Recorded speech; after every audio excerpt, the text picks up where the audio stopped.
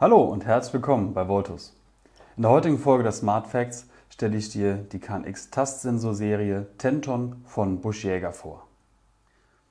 Der Tenton wurde bereits 2018 auf den Markt gebracht, damals noch unter dem Namen Klima Eco und wurde nun umgetauft. Wenn man sich den Tenton jetzt mal ein bisschen näher anschaut, fällt direkt eines auf. Er hat weder ein großes Display wie der MDT Glastaster, ähm, noch äh, hat er irgendwelche äh, Spezialfunktionen, die man äh, heutzutage eigentlich vermutet. Jetzt fragt man sich, wa warum machen die das?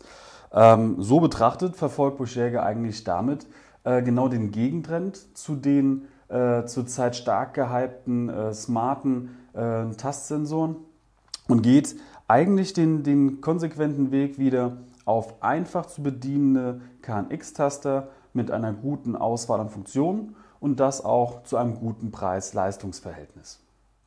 Ich muss ehrlich sagen, am Anfang war ich auch äh, verhältnismäßig skeptisch äh, diesem Tastsensor gegenüber. Mm, jetzt aber, nachdem ich mich mit ihm ein bisschen mehr beschäftigt habe, muss ich sagen, er hat eine klare Daseinsberechtigung. Es gibt nämlich viele Kunden, die wollen explizit nicht äh, smarte Tastsensoren mit Display und, und äh, zig Zusatzfunktionen. Und ich glaube, ähm, da hat der Tenton eine gute Daseinsberechtigung. Und diese Funktionen des Tastsensors, die zeige ich euch gleich ein bisschen näher. Was beim ersten Anfassen des Tasters direkt auffällt, ist die wirklich gute Haptik und auch die Verarbeitungsqualität. Ähm, die muss man fast sagen, ist bei den neuen eben benannten Tastern häufig ein bisschen in, in den Hintergrund geraten.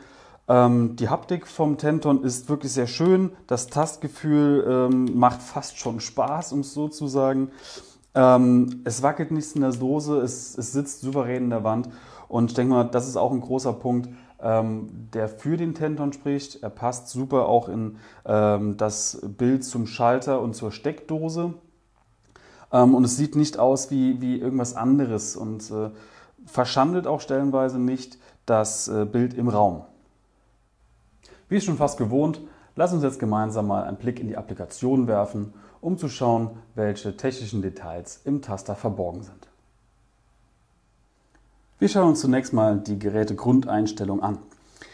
Je nach Ausführung des KNX-Sensors äh, stehen natürlich verschiedene Funktionen zur Verfügung. Äh, wir betrachten uns hier die, die Vollausstattung mit CO2 und äh, Luftfeuchtigkeitsfühler. Ähm, das Display kann ich verhältnismäßig gering parametrieren. Ähm, ich kann sagen, ob die Ist-Temperatur angezeigt werden soll, der CO2-Wert, die relative Luftfeuchte, das Datum und die Uhrzeit. Das Ganze kann man im, im Intervallwechsel äh, anzeigen lassen, dass das dementsprechend hin und her wechselt. Was bei einigen ähm, KNX-Sensoren dieser Art immer wieder ein Problem war, war der Tag- und Nachtbetrieb, dass man also in, im Nachtmodus die LEDs äh, abdunkelt, dass es nicht irgendwie abends nervt. Das hat der Tenton natürlich auch mit drin. Ähm, nicht ganz so komfortabel, wie es andere am Markt haben, aber äh, im Anbetracht der, der sonstigen Applikationen ist es vollkommen ausreichend. Die primäre Funktion ist eine Thematik, die eigentlich in anderen KNX-Sensoren von Busch Jäger mit integriert ist. Ähm, so gibt es die Möglichkeit, ähnlich einer Patch-Funktion äh, beim Glassensor oder beim Glastaster von Busch Jäger, ähm, dass man also die Taste 1 und 2 dementsprechend belegen kann mit einer Grundfunktion, die immer im Raum zur Verfügung stehen muss. Im Taster selbst ist ein Raumtemperaturregler integriert, sprich man braucht nicht unbedingt die äh, Regelparameter dann im, im, Heizungsaktor. Ist eine Geschmackssache, ob man es im Sensor oder im Aktor haben möchte. Ähm, was hier eine ganz nette Geschichte ist, finde ich, ähm, dass man nicht nur die interne oder die externe Messung verwenden kann für den Temperaturmittelwert, sondern man könnte hier sogar noch sagen, dass zwei externe Messwerte zu, äh, zur Berechnung hinzugefügt werden und die interne von dem KNX-Sensor, um somit eine einigermaßen genaue äh, Berechnung darzustellen. Der CO2-Sensor, wie schon gesagt, ähm, ist auch einzeln aktivierbar. Hier im Unterschied zu anderen Sensoren so am Markt äh, handelt es sich um einen echten CO2-Sensor und nicht nur um eine berechneten, äh, nicht nur einen, einen Sensor, der das berechnet. Relative Luftfeuchtigkeit auch immer eine sehr gute Funktion im, im Wohnbereich. Die Tastenpaare, also sprich die Tasten 1 und 2 bilden immer einen Funktionsblock, genauso wie in dem Fall der Funktionsblock 2 und Funktionsblock 3, was dann die Tasten 3 äh, und 4 bzw. 5 und 6 sind. Am Anfang war ich ein bisschen äh, überrascht über die, die Anzahl oder die Art der, des Aufbaus der verschiedenen Applikationen. Ähm, es ist natürlich auch machbar, dass wir sagen, die Taste links soll eine komplett andere Funktion haben als die Taste rechts. Beispielsweise bei Szenen oder wenn ich eine, eine Doppelfunktion auf eine Taste legen möchte. Ähm, was Bojega hier weiterhin durchgezogen hat, ist die, die farbliche Kennzeichnung der einzelnen Tasten. Das heißt, in der Form kann ich entweder sagen, ist eine Statusbeleuchtung. Das wäre ganz klassisch äh, grün und rot beispielsweise, beziehungsweise ich kann das natürlich auch hin und her stellen. Oder die Thematik der Funktionsbeleuchtung, äh, die sich halt eben bei Boscherga durchzieht, dass ich für verschiedene Gewerke verschiedene Farben annehmen kann.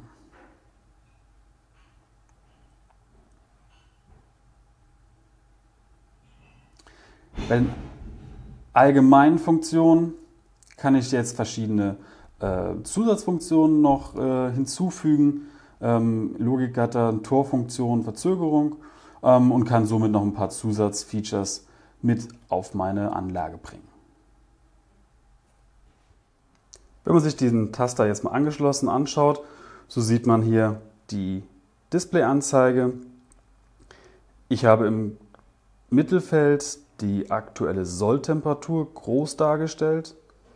Im oberen Bereich ist jetzt die, die Solltemperatur angegeben und hier im rechten Bereich wird jetzt die Anzeige umgeschaltet zwischen der Luftfeuchtigkeit und dem CO2-Gehalt der Luft. Die Tasten lassen sich, wie gesagt, farblich auch dementsprechend anpassen. Ich habe jetzt hier einfach nur ein bisschen rumgespielt mit Blau und mit Rot. Ähm, von der Seite vollkommen ausreichende Funktionen in meinen Augen in dem Gerät, sodass auf jeden Fall für jede normale Anwendung dieser Taster auch ausreichend ist. Zu guter Letzt haben wir natürlich auch mal einen Blick drauf geworfen, auf welches Schalterprogramm passt der Tenton denn am besten. Ähm, man kann fast sagen, es passt eigentlich nur die, ähm, die Buschjäger Accentline äh, Schalterprogramme ähm, optisch gut dazu. Das heißt, wenn ich diese mit äh, dem KNX-Tastsensor in einer äh, Symmetrie aufbaue, sieht es auf jeden Fall vernünftig aus. Andere eckige Programme passen natürlich auch dazu. Man sieht aber dann leichte Unterschiede in der Breite äh, der Rahmen. Ja, so viel dazu. Ich denke, der Tenton hat auf jeden Fall eine Daseinsberechtigung in der Zeit, wo alle Tastsensoren äh, immer smarter, immer bunter, immer mehr äh, Display-Charakter haben. Ähm, ich denke schon, dass es jede Menge Kunden und jede Menge ähm, Nutzer gibt, die eigentlich nur einen Tastsensor haben möchten und dafür ist der Tenton perfekt geeignet. Die Applikation ist, ist gut aufgebaut, sie hat einige Funktionen mit drin, das Display ist jetzt ein wenig äh, ja, oldschool, will ich mal so sagen. Aber auch da äh, wird, denke ich mal, in den nächsten Jahren auch noch ein bisschen nachgebessert. Ähm, Preis-Leistung vom Taster ist, äh, ist wirklich schön. Ähm, so ein Tastsensor liegt bei Anfang, Mitte 100 Euro und somit ähm, eine sehr gute Price-Range. Wenn du Fragen hast zur KNX-Tastsensor-Familie Tenton, wenn du Fragen hast zu den Produkten, Komm gerne auf uns zu, schreib uns oder ruf uns einfach an.